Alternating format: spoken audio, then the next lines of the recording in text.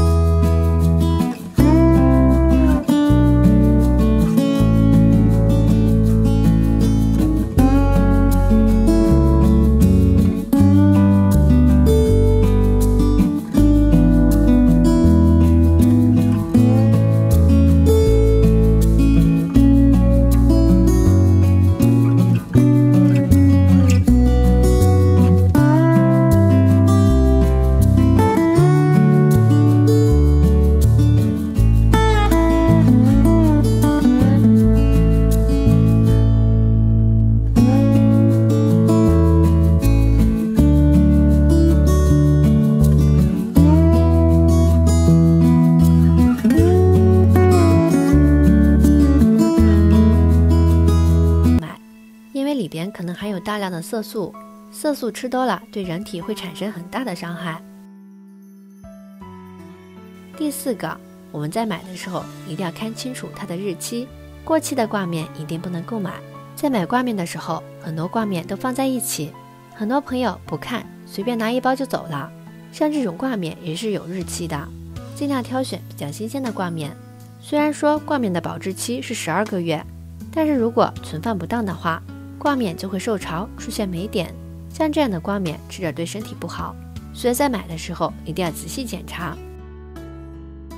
第五个，尽量不要挑选筋度太高的挂面，把挂面买回来以后拿出来一根，捏住两头，像这样往里边慢慢掰。如果很轻易就可以在中间折断的话，就说明这个挂面是正常的。如果捏住两头，使劲往里面掰，一直掰不断的话，就说明这个挂面增筋剂加多了。有一些商家为了面条吃起来口感更好，所以会过量的往里边加增筋剂。增筋剂吃多了对人体的伤害非常大，所以买回来的面条一定要像这样试一下。如果出现这种问题，下次一定不要再购买了。买的时候可以多买几个品牌，选择最优质的挂面，以后照着这个牌子买就可以啦。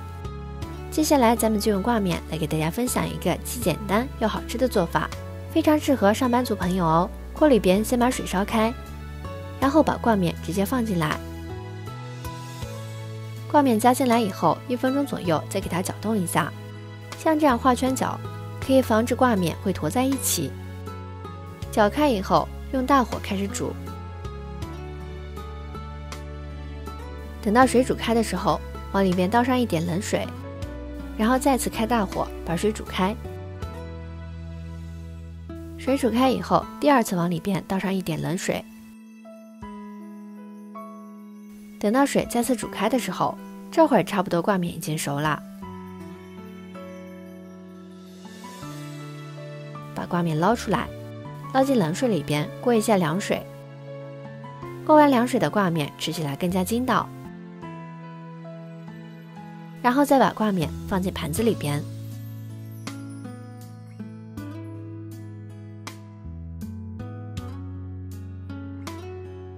再加上一点切好的葱花，还有蒜末，直接加在表面，然后再少加一点辣椒粉，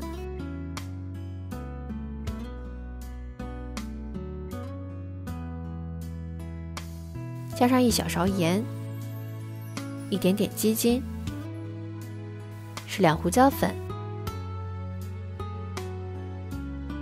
再加上一点生抽。最后用热油像这样泼一下，激发出所有的香味儿。倒上适量的陈醋，再用筷子搅拌均匀，一道非常简单又非常好吃的油泼面就做好了。用这种方式做出来的挂面非常好吃，做法也是相当的简单，非常适合那些没有太多时间做饭的上班族的朋友，而且做起来也是相当的划算，比泡面都要便宜很多，而且吃起来也是相当的好吃。喜欢的朋友赶紧收藏起来试试吧！喜欢本视频的记得点赞、收藏、留言、转发哦！点击我的头像可以观看更多的美食视频。这里是飘飘小厨娘，我是飘飘，感谢您的观看，咱们下期视频再见。